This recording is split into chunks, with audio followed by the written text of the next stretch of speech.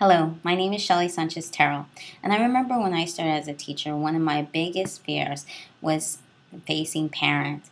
I was so afraid because I had a horrible experience with a parent where the parent thought that I was a terrible teacher because the only time I had communicated with that parent was when her daughter got into trouble. And I soon realized that if we begin to talk with parents in the beginning and we send positive messages, then the parents, we can ease them into the situation uh, when we have to deliver bad news. The problem is that when we start schools, we have to forget that engaging parents and working with parents is one of the most vital things we can do in order to ensure that students have great success. After all, the parent knows best about their child and their learning needs and styles. And so at the beginning, if we can engage the parents and if we can just get them to be on our side and work with us and the student to make it a successful year, then we will have an easier journey along the way. Nobody likes to receive bad news.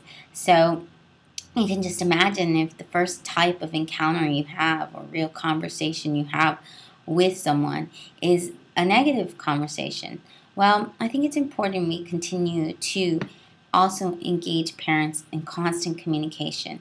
And we offer them a variety of ways. Now we have text messaging, we have Twitter, we have um, even a Facebook group that can be private for parents. Many of the parents are on Facebook, but so many parents are working, and we have to use these communication tools, even email, to try and have this constant communication.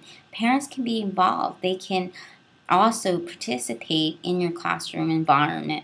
They don't have to always be there face to face. Now, if you can have a face to face visit, that's even better because face to face communication is also very important.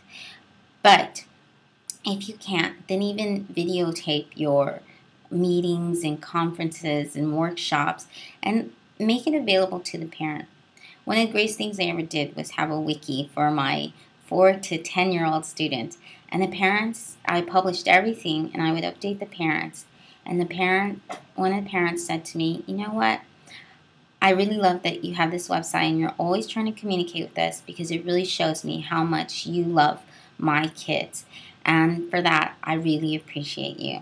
So you can either work with parents or you can have them against you. It's up to you, but hopefully these tips help you today.